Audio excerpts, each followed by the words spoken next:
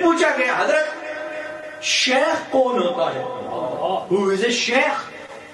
Who is a spiritual leader? Who is a spiritual guide? پیر صاحب کون ہوتے ہیں؟ حضرت نے جواب دیا شیخ وہ ہوتا ہے پیر وہ ہوتا ہے جو اپنے مرید کے دل کا مالی ہو۔ اپنے مرید کے دل کا وہ مالی بن جائے۔ شیخ is he who becomes the gardener of the heart the garden of the heart of the follower اس کی صفائی کا خیال رکھے اس کی نظافت کا خیال رکھے اس کی خوبصورتی کا خیال رکھے اس کی چمک دھمک کا خیال رکھے جس طرح which a gardener take cares of a park, take cares of a garden, looks after the grass, looks after the plants, looks after the flowers.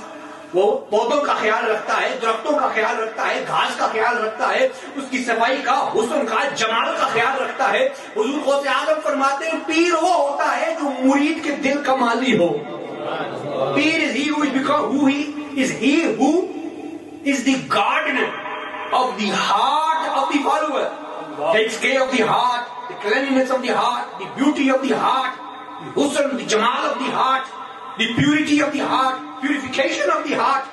دل کی طہارت کا خیال رکھے، دل کی نظافت کا خیال رکھے، دل کے حسن و جمال کا خیال رکھے، گناہوں سے بچائے، برائیوں سے بچائے یہ ہوتا ہے شیخ دس از اے شیخ سو now have we understood in the light of the teachings of حضور غوث اعظم شیخ عبد القادر جیلانی رضی اللہ تعالی عنہ that a murid is the one who comes to the sheikh to get close to Allah.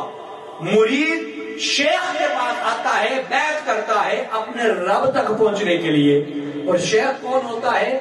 اس کی نظر بندے کی اور مرید کی جیب پہ نہیں ہوتی۔ His eyes don't be on the pocket of the مرید، his eyes be on the heart of the مرید۔ پیر وہ ہے جس کی نظریں جیب پہ نہ ہوں۔ نظریں جیب پہ نہ ہوں، نظریں دل پہ ہوں۔